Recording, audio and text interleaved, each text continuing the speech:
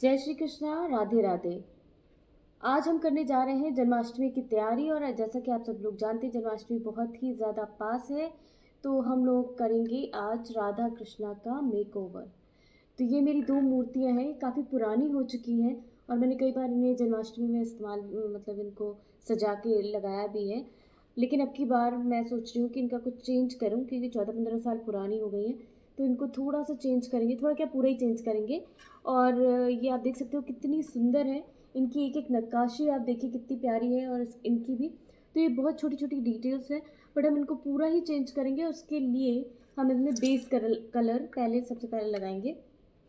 और base colour के लिए आप अगर आप अपने घर में करना चाहते हैं तो आप इसके लिए ऐसे फैब्रिक पेंट्स भी यूज़ कर सकते हैं।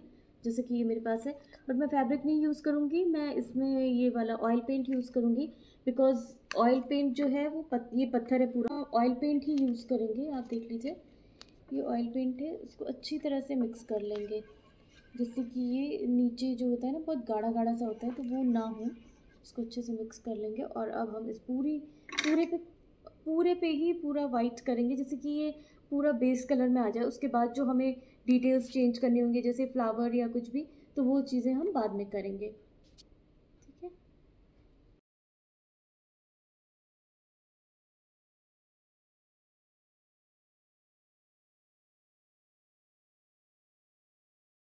जैसे कि मैं हर, अपने हर वीडियो में बोलती हूँ कि भगवान से रिलेटेड कोई भी काम करिए तो एक बार ज़रूर उनसे मन ही मन प्रार्थना कर लीजिए कि वो आपकी हेल्प करें अपने आप को सुंदर बनाने में, तभी अपना काम अच्छा हो पाएगा। अदरवाइज़ कुछ ना कुछ मिस्टेक्स हो जाएँगी और वो काम बिगड़ जाएगा।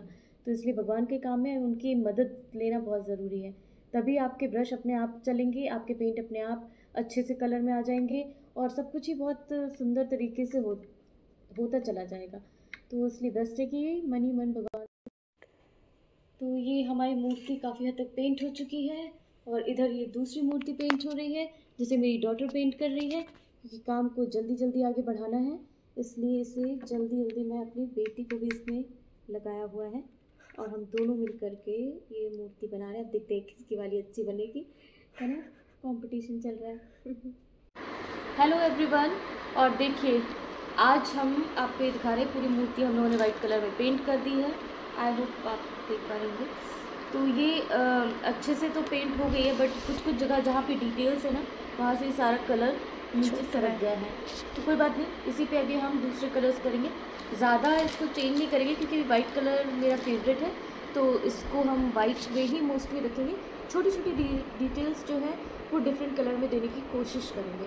तो आई थिंक कि मैं इसमें मेटालिक मरून कलर डालने की कोशिश करती हूँ। देखती हूँ अगर मेरे पास है तो। अब ये जो कलर है, मैं इसको इनका राधा रानी का लहंगा इसी से करूँगी।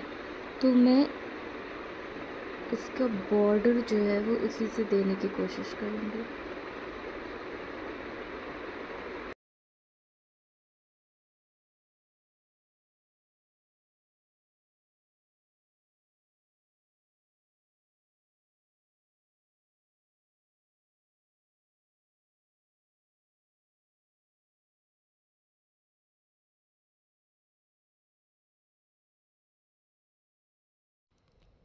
ये हमारे दोनों बहुत अच्छे से, बहुत सुंदर पेंट हुए हैं और ये हमने कलरफुल थीम पे किया है राधा कृष्णा को और ये गोल्डन और वाइट ही रखा है। कोशिश की है कि वाइट के साथ ज़्यादा छेड़छाड़ ना हो, लेकिन फिर भी थोड़ा बहुत तो हम लोगों ने इसमें एड ऑन कर ही दिया है स्टोन्स और कलर्स जिससे थोड़ा सा लुक चेंज हुआ है। तो आप खुद ही देख सकते हैं कि पहले के कंपैरिजन में कितना ज़्यादा ड्रास्टिक चेंज आया है। तो अगर आप लोगों को पसंद आया हो तो लाइक सब्सक्राइब और शेयर कीजिए। हमारे चैनल को और मिलते हैं फिर नेक्स्ट वीडियो में।